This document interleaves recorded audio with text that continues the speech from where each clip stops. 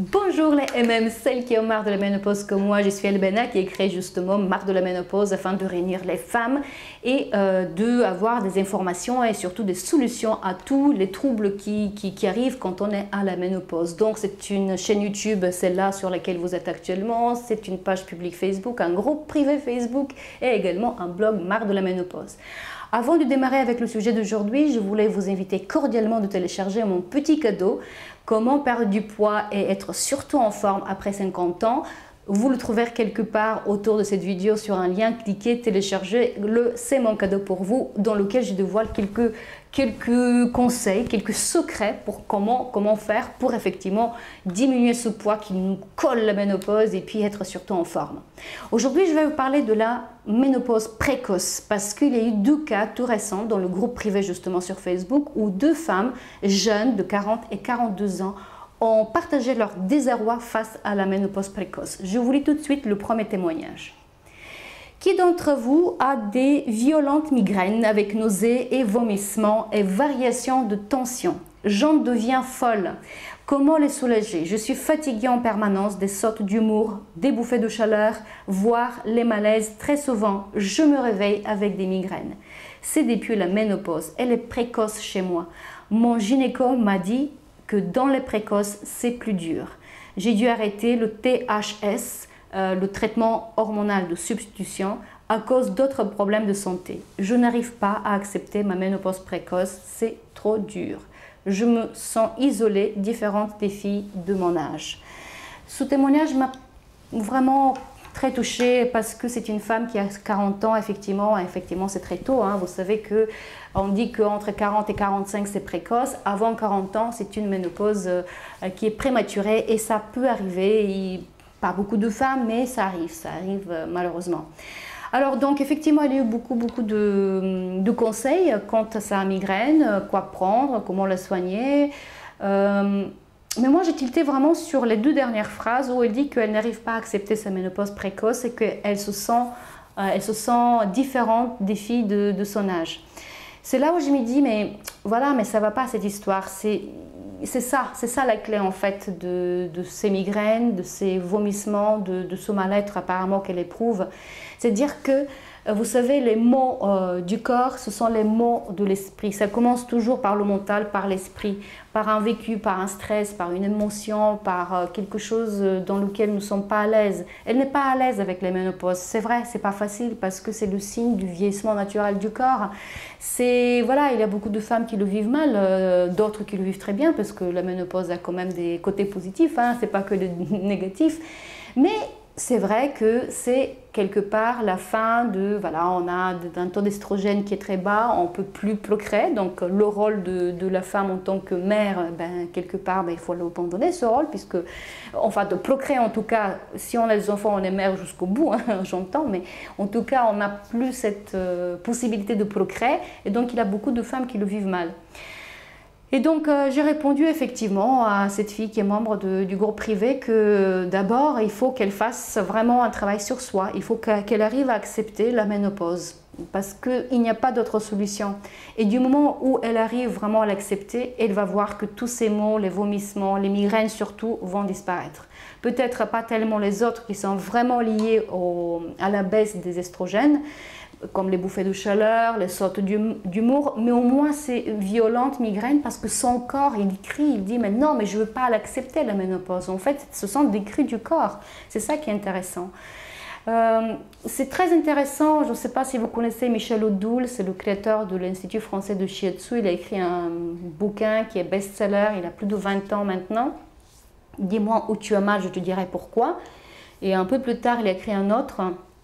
Dis-moi où tu as mal, et il, analyse 300 pathologies. Et effectivement, quand il parle de la ménopause, il fait une très bonne analyse du fait qu'il y a des femmes qui n'acceptent pas parce que leur rôle, leur fonction première de procréation, elle n'y est plus. Donc je vous conseille de, lire ce bouquin ou de regarder une vidéo dans laquelle effectivement j'en parle. Mais honnêtement, ça, c'est un cas effectivement de ménopause, précoce où la femme a du mal à accepter la ménopause. Elle a du mal donc c'est obligatoire, il faut qu'elle fasse un travail sur elle.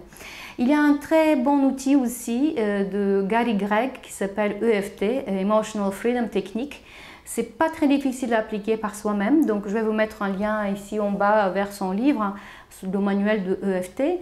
Lisez-le, c'est un tout petit bouquin et vous pouvez l'appliquer. C'est des tapotements sur des méridiens. Tout ça, ça vient bien sûr de la médecine chinoise, de l'acupuncture, des méridiens. Enfin, et donc après, vous allez voir que ça peut, vous aider.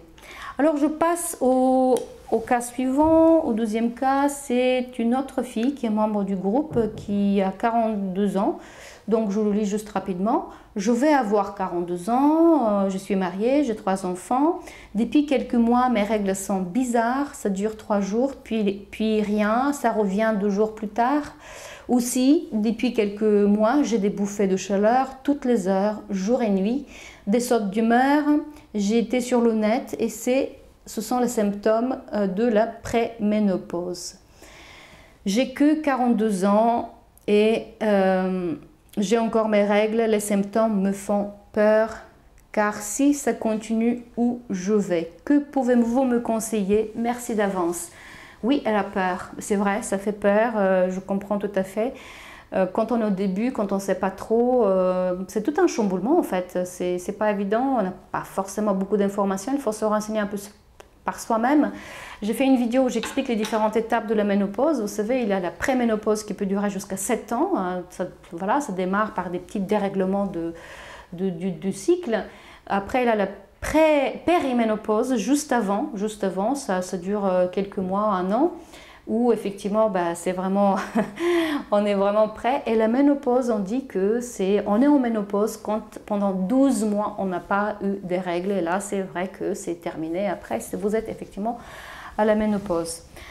Donc euh, cette femme elle a 42 ans. Elle a peur euh, je comprends il y a d'autres femmes euh, qui, euh, qui lui ont dit ben, écoute, c'est comme ça, effectivement, tu as les symptômes de la, pré, de la ménopause précoce.